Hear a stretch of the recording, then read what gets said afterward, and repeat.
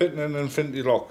First of all, the gasket, you need to take off the backing tape and stick the gasket to the lock.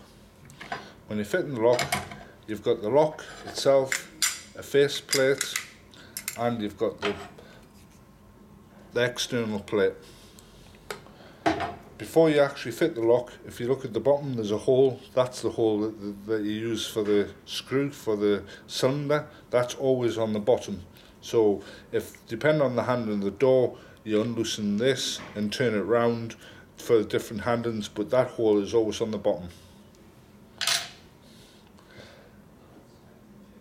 Stick one, stick the first one through the holes. The holes are 60 mil, 62 mil, 45 mil diameter. Line this up so that it's more or less lined up. Then the top hole at the front or at the back of the lock and the bottom hole are the two holes that you use. Uh, locating locating these is sometimes a, a little bit difficult. Once you've got them located, you then should be able to just loosely fasten the lock to the door.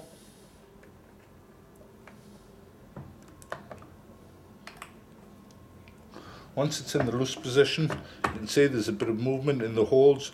You can then line this through with the front of the door. And once you're satisfied that it's level and it's square with the front, you can then tighten the two screws up.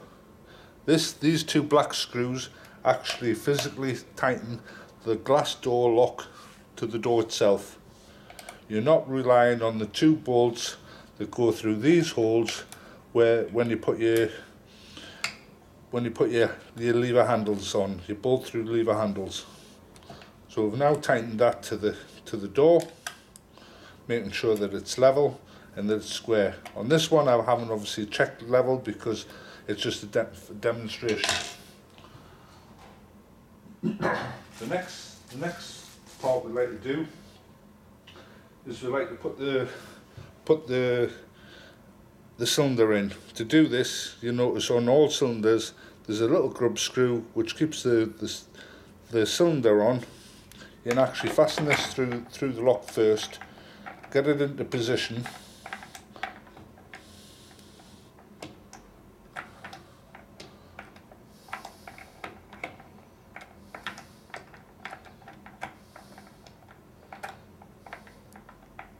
so that the lock throws.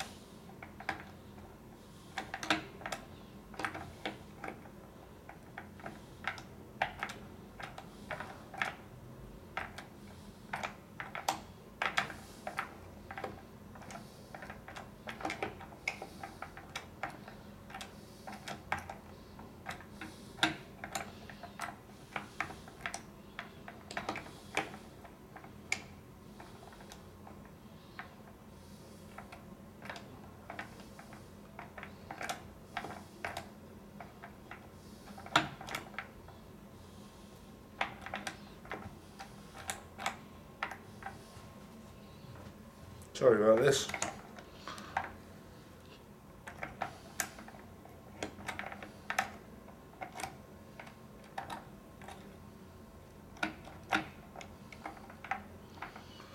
So the lock throws, we then put the, the bolt that comes with it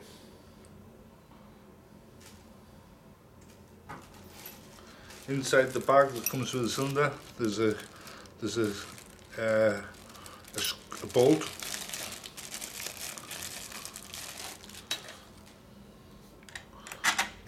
This is then located underneath.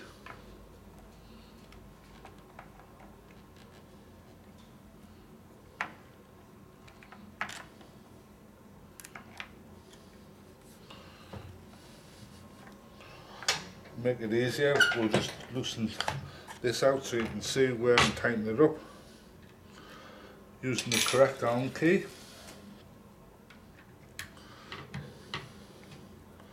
Then tighten, tighten this in position, then clamp it back up again.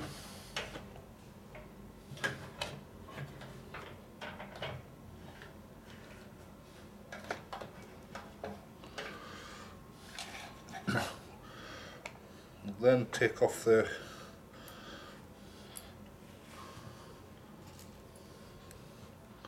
grub screw out of the out of here. Put that to one side. And then get the face the cover plate. By depressing the front this will slide straight over. Put the two screws in. Which holds the, the cover on. Before you do this you may wish, wish to tighten this, the cylinder up you do that by tightening it underneath if you haven't already done so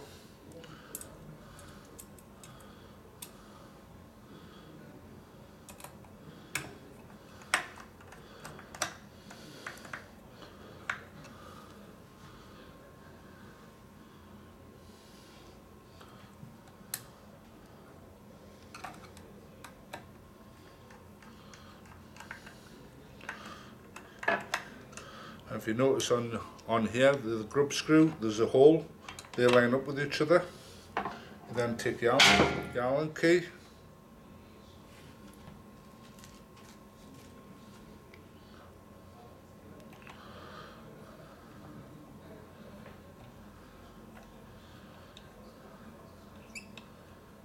Tighten this back on. Now lock should throw.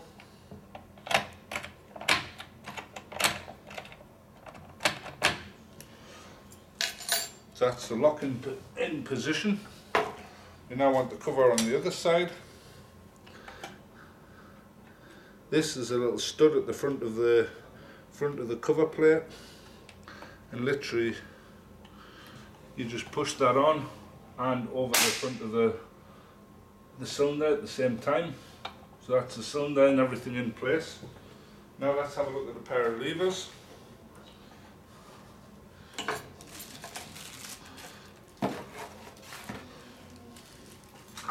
Levers we're going to use is just standard safety levers. Comes with a fixing kit, pair of levers, and a pair of covers.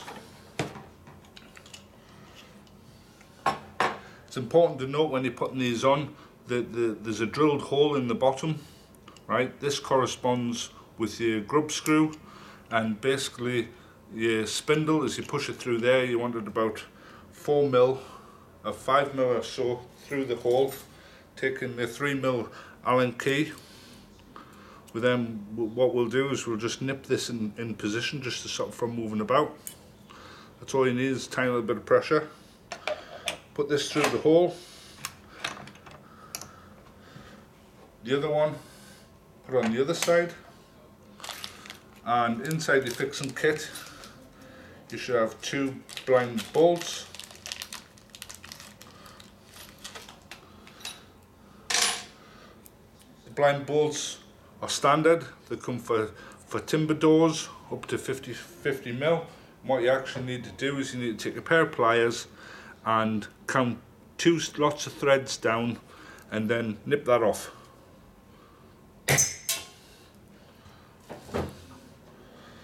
The correct way of doing these is you put the blind nut through one side and you put your bolt through the, screw through the other, locate them.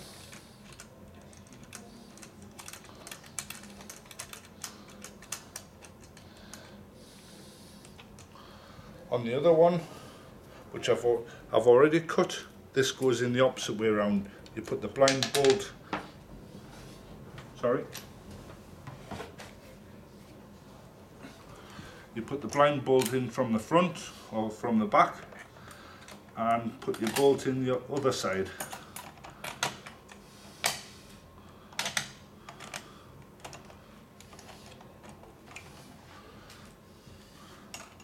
When you tighten these up, you should be able to just nip them up with an ordinary screwdriver.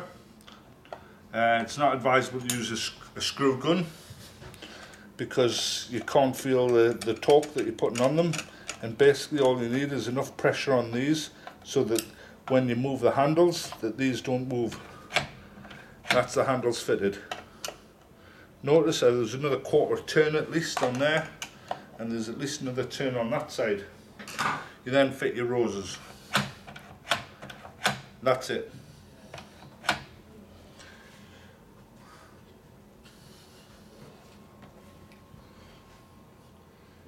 Say, for argument's sake, the customer wishes to change the levers to uh, another set of style levers. All you should need to do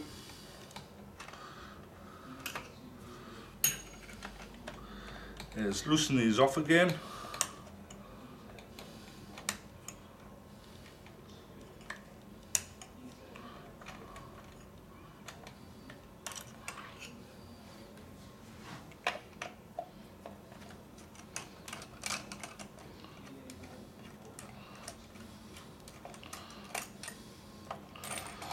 The handles off.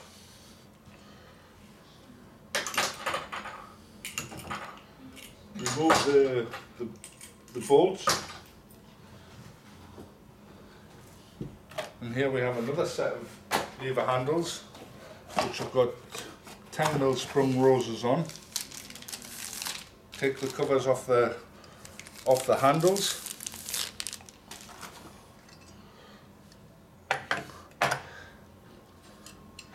So you can get this this the rose back, the cover, screw, screw that in two or three turns so it's countersunk. You should then be able to push these covers back out of the way. Unscrew this, otherwise you won't get, unscrew it again slightly so it's clear inside and do exactly the same on the other one. Take the spindle out, screw it in so you can move the, the rose back.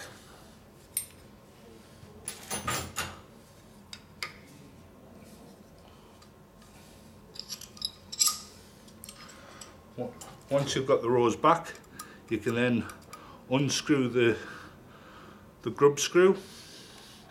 Notice it's got a groove inside there. Locate the groove with the same side of, of the handle. Round about midway down the groove you want to be and then just just nip this in uh, get a hold of the rose and find out which way it's, it's operating. This one's operating this way. So this is the out the, the inside handle, push this in, take the other handle, make sure it's operating in the right direction. Before you actually tighten these grub screws on the inside, yeah, you now want to locate these. Again, this sometimes is a little difficult. You might want to move it out slightly just to get it in. Do the same at the other side.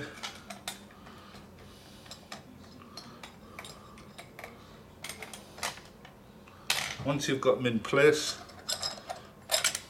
you should then be able to put your blind bolts, your, sorry, your blind nut in. Take your screwdriver,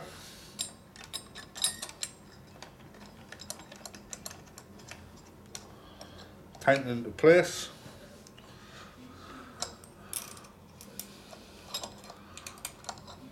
Do the same on the other side.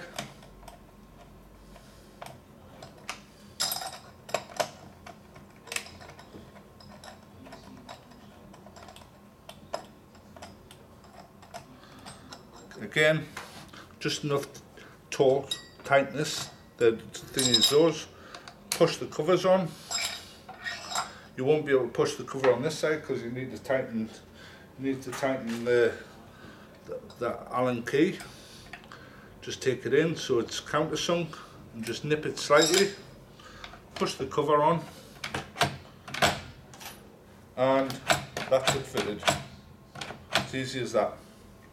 So there you've seen a demonstration, two of our standard sets of levers, the straight ones and the return safety levers, which incidentally each one has a spring in each handle and also there's a spring inside the lock. Finished.